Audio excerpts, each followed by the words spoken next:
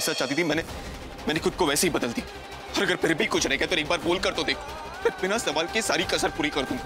अब से तुम्हारे लिए रोज फूल लाऊँगा मैं। तुम जहाँ कहोगी ना मैं वहाँ घुमाने ले जाऊँगा तुम्हें। से एक बार कह दो कि ये सब झूठ। पूजा मैं कुछ पूछ रहा बस कीजिए मिस्टर व्यास। एक साल के बाद जब तू नरेन बाबू की ज़िंदगी में लौटेगी ना तो छत पर खड़ा होकर चांदी की थाल बजाऊँगा। बस फ़िक्र है तो नरेन बाबू की मामा। हमने तो उनकी हर आस ही मार डाली। पता नहीं अब वो किस तरह रिएक्ट करेंगे। तुम्हारे निशान तक मिटा दूँगा मैं? इस घर से, इस कमरे से, इस दिल से।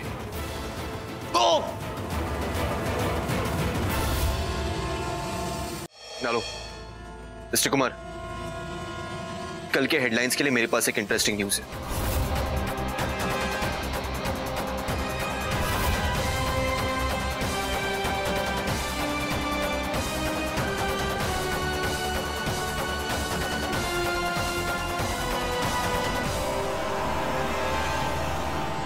सुप्रेश जी बताइए ना क्या क्या बात थी?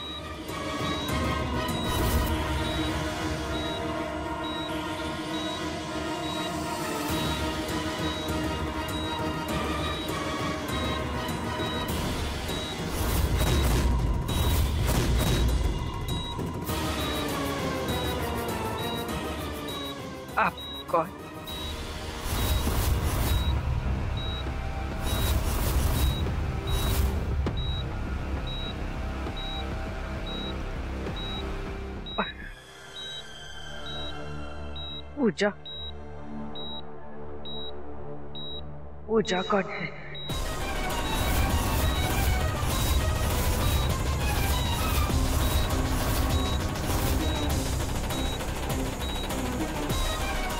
सुप्रिया आप आप आप ऐसा क्यों बोल रही हैं? सुप्रिया भाभी? सुप्रिया डॉक्टर साहब डॉक्टर साहब प्लीज़ देखिए ना भाभी को क्या हो गया। आई नर्स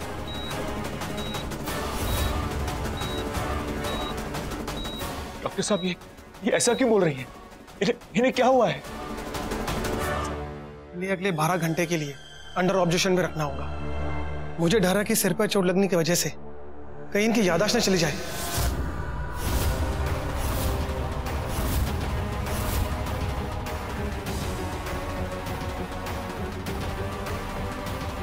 अब जो भी हो पूरी सिचुएशन इनके होश में आने के बाद ही समझ में आएगी।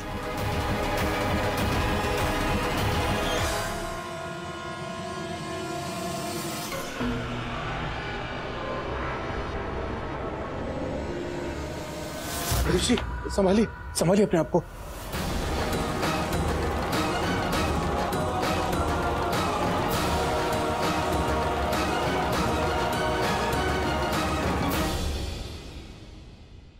मुझे तो यकीन ही नहीं हो रहा।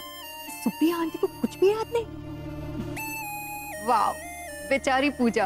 अमेरिका में बैठे बैठे इंतज़ार करती रहेगी। पर साल भर बाद भी सुप्रिया आंटी तो फ़ोन करके वापस बुलाने से रही। लेकिन we still need to be careful अगर सुप्रिया भाभी की याददाश्त वापस आ गई तो? डोंट वरी फूफा जी मैं हूँ ना। सुप्रिया आंटी का इतना ख्याल रखूँगी कि पुअर आंटी खुद को ही भूल जाएँगी। लेकिन मुझे पूजा के मामा पर शक है। पूजा की जान खतरे में है। कहीं ये बात उन्हें पता ना चल गई। ये तो और भी अच्छा है। फिर तो मामा जी अपनी लाडली भांजी को वापस आने ही नहीं देंगे। और अगर वो लौट के आ भी गई। मुझे तुम्हारी डील मंजूर है। तुम मुझे जेल से रिहा करवाओ। और मैं तुम्हें खुशी खुशी तलाक दे दूँ राहुल तुमने सोचने में बहुत समय ले लिया। अब तो ये डील वैलिड रही नहीं। एक्चुअली मैं तो तुम्हारे साथ एक खुशखबरी शेयर करने आई थी। शायद मैं बताना भूल गई। नरेन और पूजा का डिवोर्स हो रहा है और नरेन का रवैया देखकर लगता है कि इस बार मेरी सारी मुसीबत अपने बैग्स पैक करके इस घर से चली गई है। सो नरेन बाबू मेरे लिए जगह बनाना शुरू कर दी। अपने दिल में भी और अपने कमरे में भी। Oh, hello. कौन से सपने में हो भाई? बेटा डिवोर्स नरेन और पूजा का हुआ है। तुम अभी भी मेरी बीवी हो। लीगली और इस पतिदेव के होते हुए दूसरा पतिदेव तो मिलने से रहा। और जब तक ये पतिदेव इस जेल में सड़ता रहेगा डिवोर्स के पेपर्स पर भी साइन करने से तो you do the man smart हो तुम। मैं जानती हूँ, राहुल, का तुम बहुत अड़ियल हो। लेकिन अगर मैं चाहूँ तो तुम्हारे खिलाफ डिवोर्स केस फ़ाइल कर सकती हूँ। और एक बेचारी लड़की, जिसका पति मुजरिम हो, कोर्ट भी उसी के पक्ष में फैसला लेगी राइट सो पति देव सोच लो। ऑलरेडी इतने सारे केसेस में फंसे हुए हो। एक और फंदा अपने गले में क्यों लेना? चतुर हो तुम, चतुर। कोई बात नहीं। जब इतने केसेस के बोझ में डूबा हुआ तो एक बीवी का केस और ढो लेते चलो, अब उठो एंड गेट अब मैं भी देखू। तुम मुझसे तलाक कैसे लेते जितने केसेस करना है, कर लो। फाइन ध्यान रखना, अगली बार बुलाओगे तो भी नहीं आऊँगी।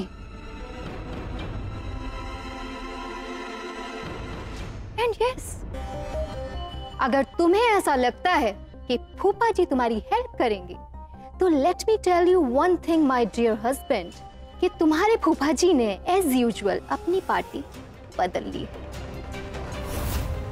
So have fun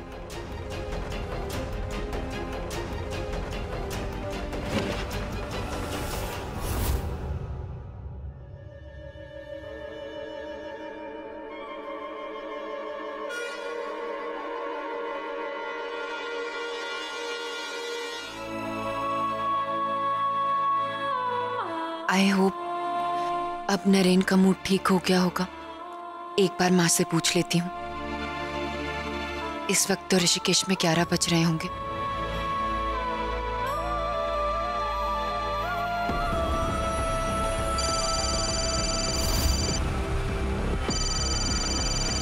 व्यास के ट्रीटमेंट के जो भी खर्चे होंगे, वो तुम ऑफ़िस के अकाउंट से ले सकती हो। और ठीक होने के बाद अगर ये पूछे तो इनसे कह देना कि इनका कोई बेटा था ही नहीं। ये कमरा अब मिसेस व्यास की दुनिया होगी।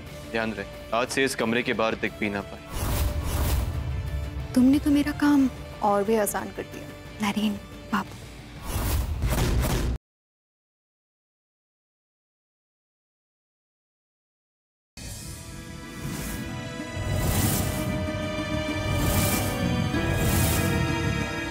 सेठ जी आपको उठना होगा दिखाना होगा भावराव और नागेश को एक औरत क्या कर सकती है। भावराव क्या बात है नागेश भाव? सौ साल जियोगे सौ साल। आपकी बात कर रहा था इनसे मैं। ऐसे मायूस क्यों खड़े हो? अपने ज़मीन के नए मालिक का स्वागत नहीं करोगे?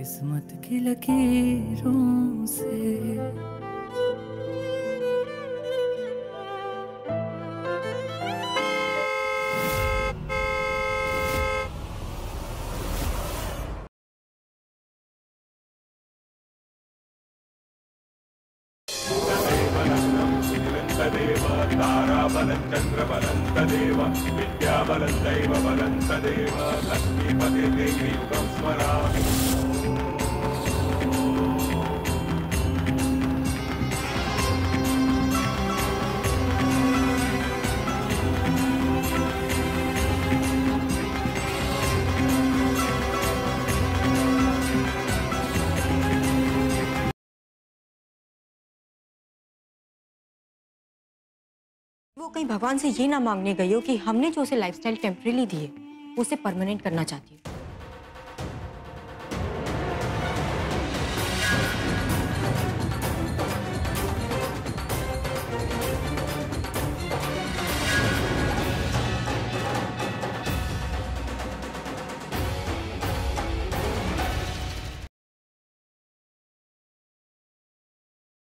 प्रीता से नाराज़ नहीं होना चाहिए। बल्कि उससे तो एकदम गुस्सा होना चाहिए। उसे अभी के अभी फ़ोन कर और उसे अच्छी खासी सुना। तब आएगा मज़ा। हाँ लेकिन तुझे क्या हो गया? तू क्यों इतना गुस्सा कर रहा है? क्या वजह क्या है? नहीं ऐसी कोई खास वजह नहीं है। आई मीन पॉइंट आउट करूँ ऐसी कोई वजह नहीं है। उससे नाराज़ होने के लिए कोई वजह नहीं चाहिए होती। अच्छा एक बात बता।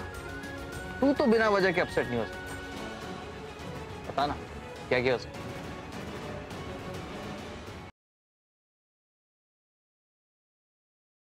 जानवी को लाइक करते हो?